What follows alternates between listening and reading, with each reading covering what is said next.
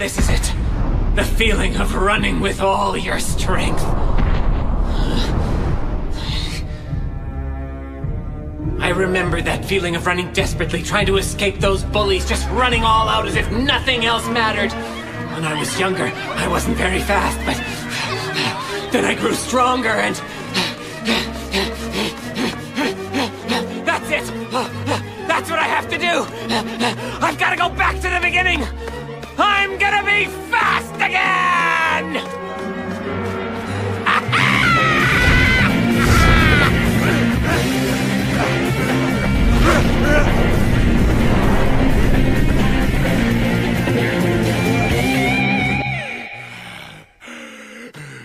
How on earth is he running like that?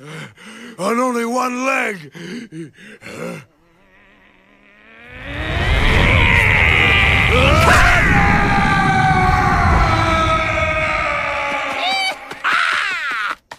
Oh, what a great feeling! I'm back!